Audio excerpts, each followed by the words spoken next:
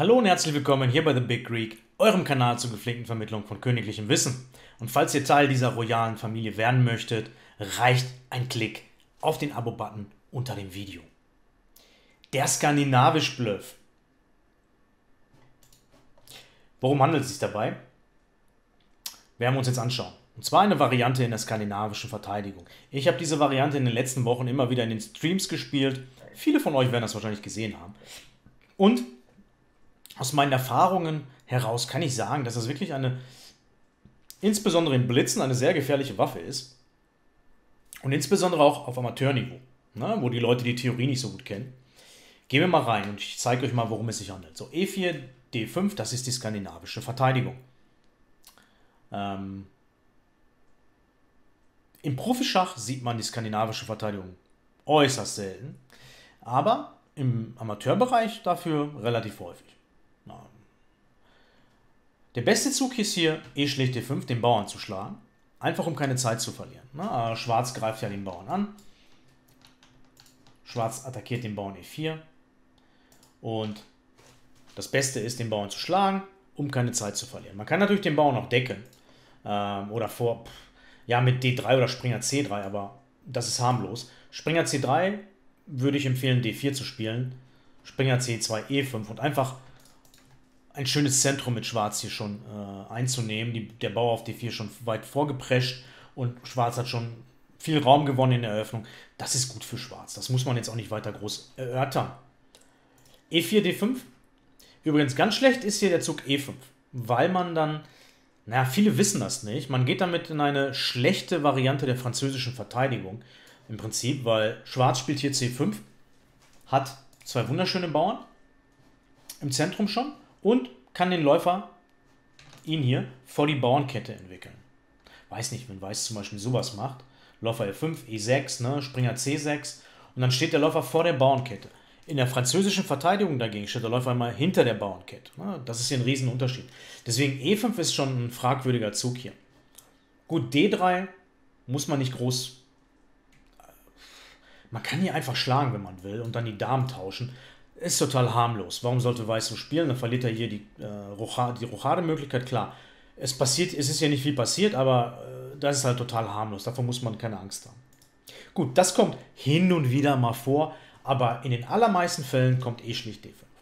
So, und jetzt hier nehmen wir mit der Dame auf D5. Ähm, es gibt ja auch Springer F6, aber Dame D5 ist unser skandinavisch jetzt hier in diesem Video.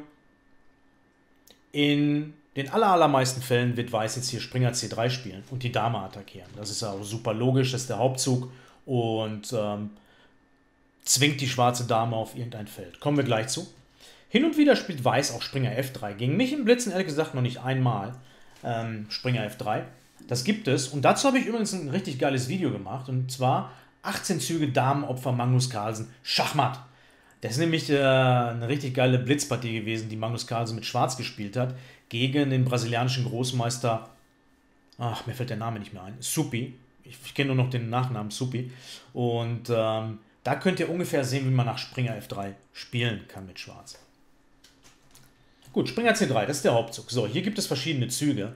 Ähm, Dame A5 schauen wir uns jetzt an, in dieser Variante. Ähm, was noch gespielt wird hin und wieder ist Dame D6.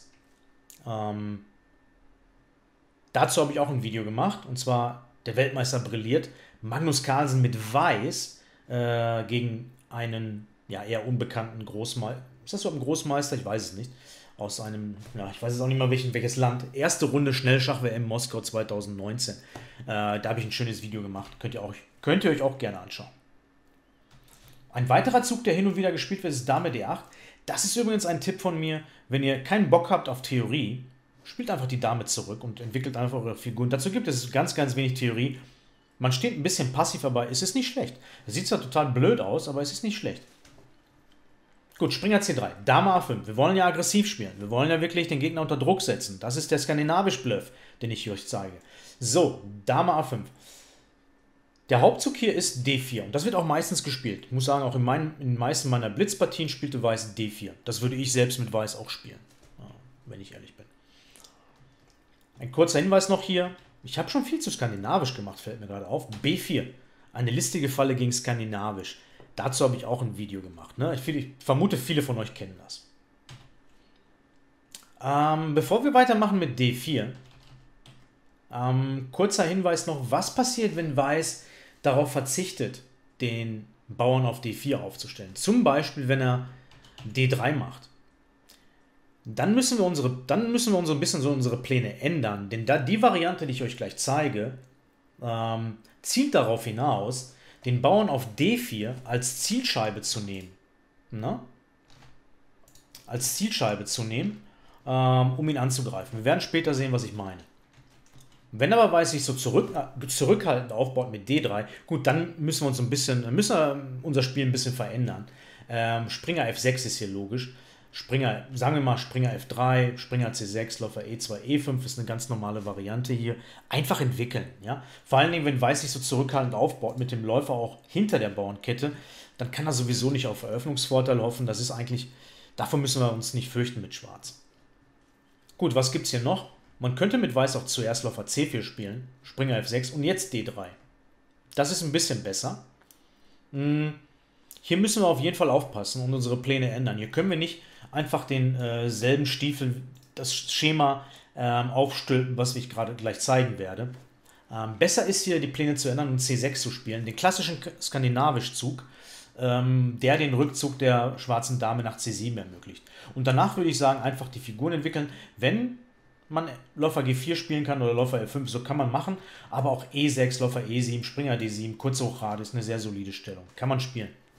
Ähm, Weiß verzichtet ja mit D3 auch so ein bisschen ähm, darauf, das Zentrum zu besetzen. Wird eher selten gespielt. Ähm, was wollte ich hier noch zeigen? Achso, wenn hier Springer F3 kommt, bei der Zugfolge, wir müssen auch ein bisschen mit den Zugfolgen aufpassen.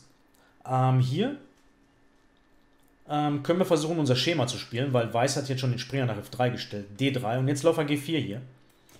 Das ist übrigens unser Schema, was wir spielen wollen. Ne? So und dann lange Rochade.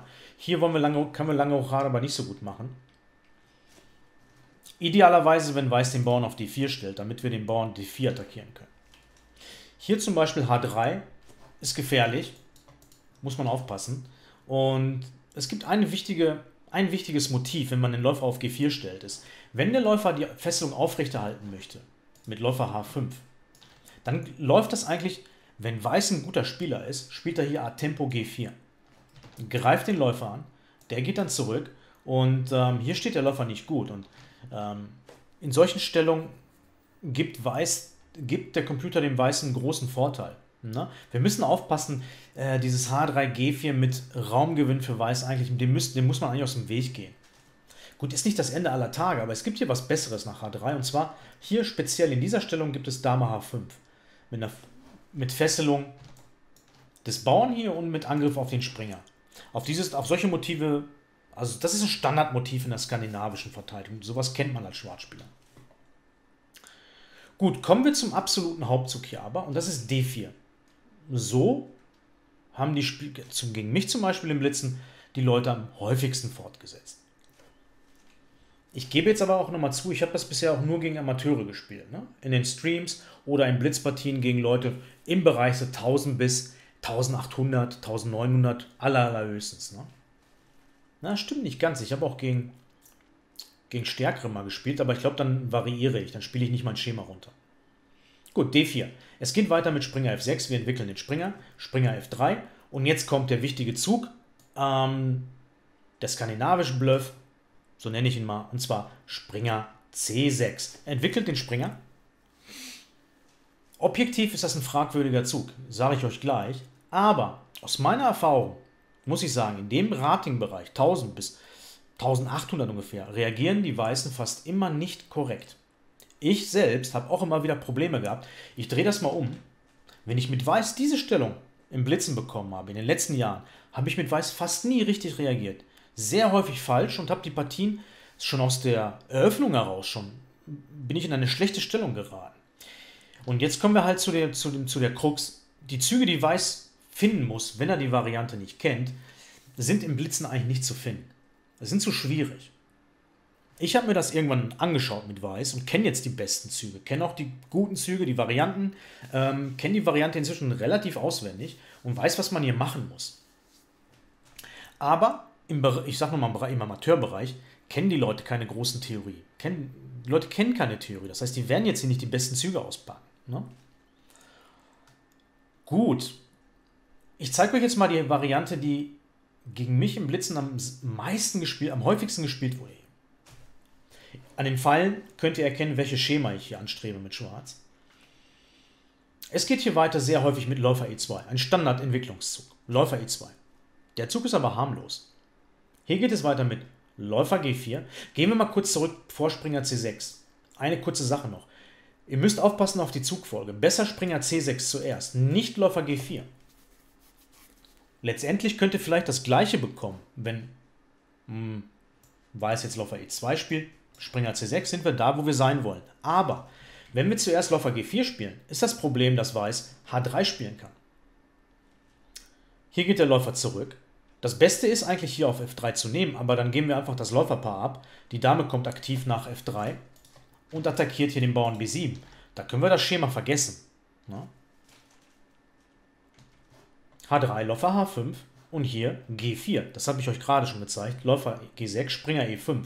Und hier steht Weiß einfach besser in solchen Stellungen. Ne? Das, das kann man vergessen. Dieses H, diese Idee mit H4, H5 ist sehr nervig. Der Springer kann nach C4 die Dame angreifen. Das hat mich, der Computer zeigt hier wirklich schon einen relativ großen Vorteil für Weiß an. Deswegen, ganz wichtig, zuerst Springer C6, nicht zuerst Läufer G4.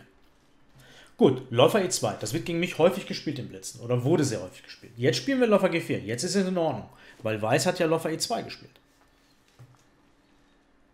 Hier die kurze Rochade. Das kommt sehr häufig vor, sieht ja super natürlich aus. Ne? Der ganze Aufbau sieht super natürlich aus. Weiß macht nur natürliche Züge.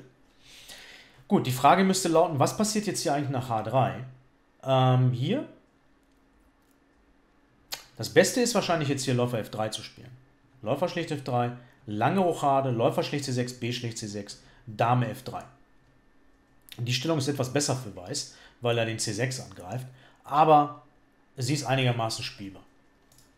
H3, Läufer H5, hier kurze Rochade, G4, Läufer G6 ist jetzt ein bisschen anders, weil ähm, der Springer kann nicht nach E5, weil der Springer hier steht, ne? auf C6. Ich würde ihn schlagen. Deswegen ist das hier ein bisschen anders als die Variante, die ich gerade gezeigt habe. Ne? Ähm, ohne den Springer auf C6 würde Springer E5 kommen und Weiß würde gut stehen. Hier hat Weiß auch einen leichten Vorteil, wenn er aber den richtigen Zug findet. Und der richtige Zug ist hier Läufer D2. Das ist aber schwierig. Ne? Weiß steht hier auch nur etwas besser, ist nichts Besonderes.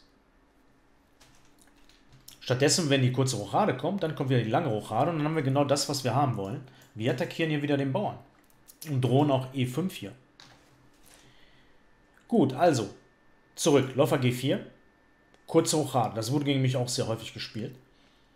Wie gesagt, nach H3 würde ich Läufer H5 zurückziehen. Ne? Und nach G4 Läufer G6. Ah, Moment, ganz wichtig, ich habe vergessen hier Rochade zu erwähnen. Genau, Rochade.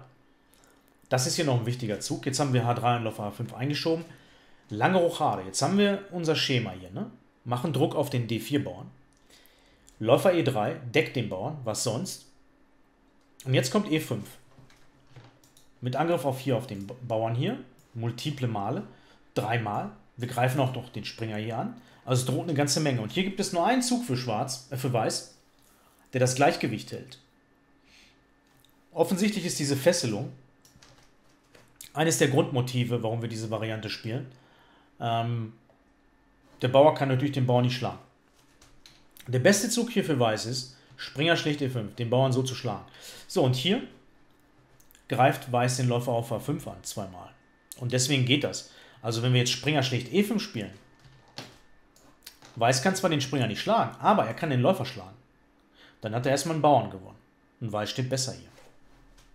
Besser ist allerdings hier Läufer schlicht E2. Mit Angriff auf die weiße Dame.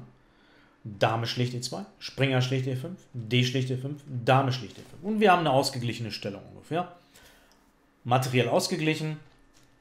Und das ist in Ordnung für Schwarz. Ne? Er bringt jetzt den Läufer ins Spiel danach und dann spielt man eine Partie Schach. So, warum habe ich euch diese Stellung gezeigt? Ganz einfach. Kommen wir gleich zur Hauptvariante, zu meiner Hauptvariante. Nach Läufer G4. Häufig spielt Weiß H3 hier nicht. Spielt automatisch Rochade. Sieht ja logisch aus. Und was machen wir jetzt mit Schwarz? Klar, lange Rochade. Jetzt haben wir, das ist eine Traumstellung. Ne? Und ich muss sagen, ich bin mit Weiß auch schon in diese aus weißer Sicht schlechte Stellung reingeraten. Ja, was machen wir jetzt hier? Der Bauer ist angegriffen auf D4, es droht Läufer schlicht F3, Läufer F3, Springer schlicht D4. Ähm, ich habe diese Stellung habe ich in Blitzpartien schon super häufig gehabt. Also, also 70% meiner Stellung kommt immer das hier. Es ist unglaublich. Ähm, der beste Zug hier ist, kommen wir gleich. Der beste Zug ist sehr schwierig zu finden. Ihr könnt euch mal überlegen, was hier für Weiß der beste Zug ist. Der ist in einer Blitzpartie für ein, ist, der ist kaum zu sehen. So, man kommt nicht drauf. Sehr häufig wird hier Läufer E3 gespielt. Sieht ja natürlich aus. Jetzt kommt aber wieder E5. Wir greifen den Bauern an mehrmals.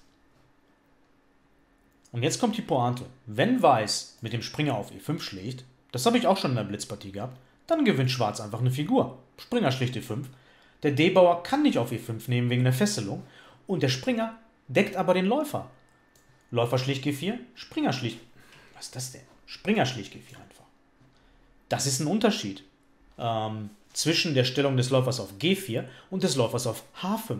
Wir hatten ja gerade die gleiche Stellung im Prinzip, nur da hatten wir den Bauern auf H3 und den Läufer auf H5.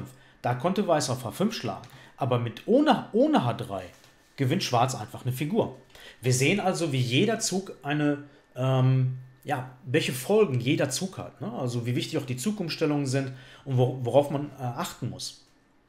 Der beste Zug übrigens hier nach E5 laut Computer ist D5, aber das ist jetzt hier nur noch das kleinste Übel, weil hier gewinnt Schwarz einfach diesen Bauern mit Springer D5. Und ratet mal, nee, glaubt's mir oder nicht, auch diese Stellung hatte ich auch schon in einer Blitzpartie. Genau diese Stellung. Ne? Greift den Läufer an, es droht ein Abzug und hier steht Schwarz einfach klar besser. Er hat einen Bauern mehr und es droht hier was, ne? eine ganze Menge. Ich meine, in meiner Blitzpartie damals ging es mit Springer schlicht E5 weiter und dort fand ich nicht den besten Zug. Hier gewinnt einfach Springer schlicht E3 mit Doppelangriff auf die Dame ich bin davon ausgegangen, dass Läufer schlicht G4 hier ein Problem ist, aber hier kommt König. Hä? Warum ging das hier nicht? Achso, man muss hier. Hä?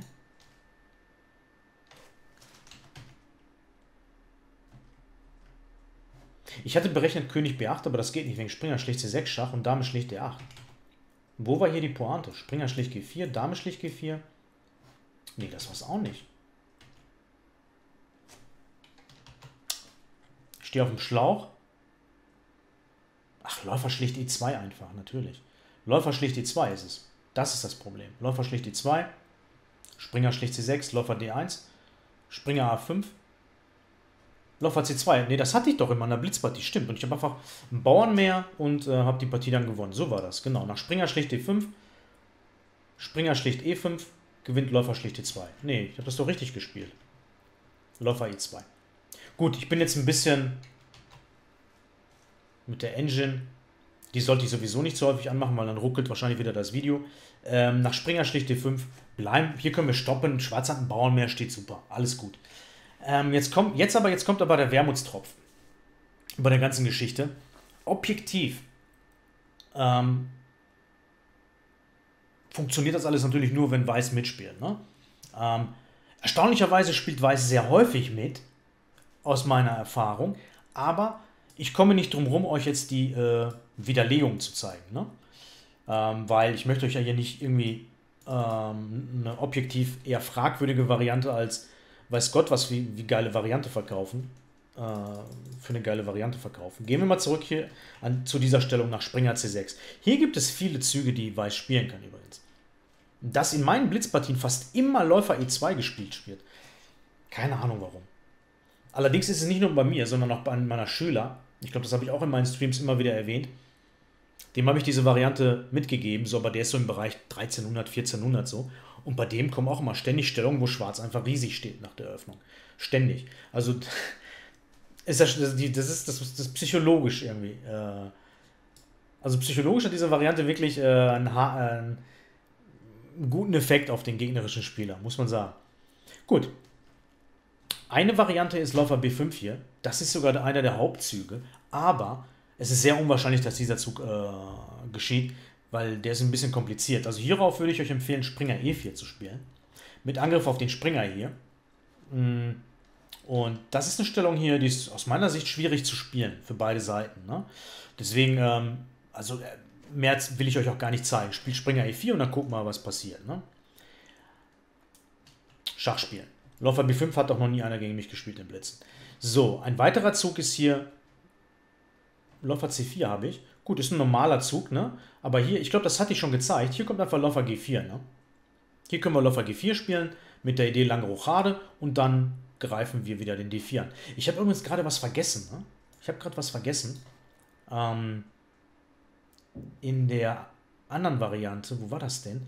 Hier, in der Variante, ne? Da habe ich euch Läufer E3 ge gezeigt und euch ge und gefragt, wisst ihr, was hier der beste Zug ist für Weiß? Den wollte ich noch zeigen, ne? Der beste Zug hier ist Springer G5. Da kommt keiner drauf. So ein Gegenangriff auf den Bauern F7. Hier geht es weiter mit Turm schlicht D4, Dame E1, Läufer schlicht D2, Dame schlicht D2, Turm G8, Springer schlicht F7. Weiß bekommt seinen Bauern wieder und die Stellung ist ausgeglichen. Das wollte ich euch noch zeigen. Übrigens, nicht grämen, nicht glauben, ich zeige euch hier massig Varianten. Ich habe natürlich eine Datei unter dem Video, ne? die könnt ihr, da klickt ihr drauf und da könnt ihr online alle Varianten nachspielen nochmal. Also ihr müsst euch nicht immer alles im Video merken. Ihr müsst doch keine Angst haben, dass ich euch alleine lasse, nur mit dem Video. Ihr könnt natürlich die Varianten auch nochmal nachspielen. Gehen wir zurück zur Stellung nach Springer C6. So. Äh, zwei Züge gibt es hier noch, die ich zeigen möchte. Läufer D2 und D5. D5 ist aus meiner Sicht wahrscheinlich eine richtig, ein richtig, richtig starker Zug. Ähm, greift den Springer, nutzt aus, dass der da steht, aber nach Springer B4 das ist eine Stellung, die, ich hatte, die hatte ich mit Weiß immer wieder auf dem Brett im Blitzen, weil ich wusste, irgendwo noch in meinem Hinterkopf war gespeichert, D5 ist ein starker Zug. Aber ich finde in den Blitzpartien dann nicht die stärksten Züge. Hier geht es weiter mit Läufer C4, weil der Bauer hing ja. So, wir kommen gleich zum stärksten Zug für, für, ähm, für Schwarz. So, es gibt hier einen Bluff und es gibt hier einen objektiv besten Zug. Der Bluff lautet Läufer F5. Na? mit Angriff auf diesen Bauern hier C2 und dieser Gabel hier. Ne? Das droht hier. Was ist mit meiner Maus los? Ist irgendwie kaputt. Egal. Dieser Bluff, mh, hm, der ist sehr gefährlich. Ähm, was würdet ihr hier machen als Weißer? Der beste Zug ist hier kurze Rochade. Aber da kommt man nicht im Blitzen drauf. Ich bin da, glaube ich, nie drauf gekommen. Einfach den C2 opfern. Wenn man jetzt auf C2 nimmt, mit dem Springer, und den Turm angreift, das ist ein Problem hier, wegen Läufer B5 Schach. Und hier macht sich bemerkbar, dass Schwarz unterentwickelt ist. Ähm, Schwarz muss jetzt das Schach blockieren, mit Springer D7 ist der logische Zug. Aber hier Springer E5 bombenstark. Und nach Springer schlichter 1, Schwarz gewinnt hier Material, kommt Dame F3 und hier steht Schwarz auf Verlust. Kann gar nichts mehr machen. Es droht Läufer schlicht D7, Läufer schlicht D7, Dame schlicht, es droht Dame schlicht D5 vor allen Dingen. Und auch sowas wie G4, ne? den Läufer anzugreifen. Ähm, objektiv steht Schwarz hier auf Verlust. Es ist äußerst unwahrscheinlich, dass ein Weißspieler in einer Blitzpartie diese, diese Züge findet. Wenn er sie finden sollte, dann muss das ein extrem starker Spieler sein, der das schon mal analysiert hat. Oder er benutzt eine Engine, sage ich ganz offen und ehrlich. Einfach so am Brett solche, so eine Kombination zu finden, extrem schwierig. Extrem, man, erstmal, man spielt hier nicht einfach Rochade, wenn der Bauer C2 angegriffen ist. Ne? Also das ist der Bluff. Ähm, der logische Zug hier ist hier Läufer B3, den Bauern zu decken. Aber hier haben wir genug Zeit mit Schwarz und spielen, ganz wichtig, nicht lange Rochade, sondern Turm D8. Es gibt hier eine Feinheit zu beachten. Der König muss das Feld F7 decken. Weil ansonsten in manchen Varianten Springer E5 kommt und der F7 ist angegriffen. Und hier hat Schwarz ähm, super Spiel gegen den Bauern D5. Der beste Zug für Weiß hier ist Läufer D2, muss man auch erstmal drauf kommen. Und jetzt sollte Schwarz aus dieser Diagonale gehen. Dame C5 und der Angriff auf den Bauern D5 gibt Schwarz hier gutes Spiel. Ähm, die Stellung ist ausgeglichen. Gehen wir zurück, also nach D5. Springer B4, Läufer C4, Läufer F5, das ist der Bluff. Objektiv der beste Zug aber ist hier E6. E6, greift den Bauern D5 ein weiteres Mal an. E schlicht, D schlicht E6, Läufer schlicht E6, Läufer schlicht E6, F schlicht E6, kurze Hochade. Gut. Hier steht Weiß etwas besser. Warum? Schwarz hat einen schwachen Bauern auf E6. Das ist jetzt aber nicht das Ende aller Tage. Die, die äh, Dame kann nach E5 den Bauern decken, Läufer D6, kurze Hochade. Man kann auch argumentieren, Schwarz hat die halboffene F-Linie. Die Stellung ist jetzt nicht irgendwie super schlecht. Kann man spielen. Ja? Kann man spielen. Gut, D5, ein gefährlicher Zug. Kommen wir jetzt zum aus meiner Sicht besten Zug. Und zwar Läufer D2. Das ist immer sehr unangenehm in diesen Strukturen, äh, in dieser Stellung mit Springer C6, wenn Weiß Läufer D2 spielt. Also wenn, wenn ihr mit Weiß diese Stellung bekommt gegen Springer C6, ist Läufer D2 ein sehr starker Zug. Ähm, diese Gegenüberstellung zur Dame führt zu taktischen Möglichkeiten für Weiß, die sehr gefährlich sind. Hier gibt es wieder jetzt, ich sag mal, einen Bluff und einen objektiv besten Zug, wobei ich den objektiv besten Zug nicht lange analysiert habe. Der objektiv beste Zug ist wahrscheinlich A6 hier. Das zeigt Stockfisch an. Und man muss irgendwie seinen Plan, sein Schema muss man verwerfen hier. Das geht hier nicht. Ähm, die Dame soll rüber nach H5, Läufer G4. Auf der anderen Seite spielen mit A6 decken wir das Feld B5, damit dort keine Figuren auftauchen. Ähm, kann man spielen.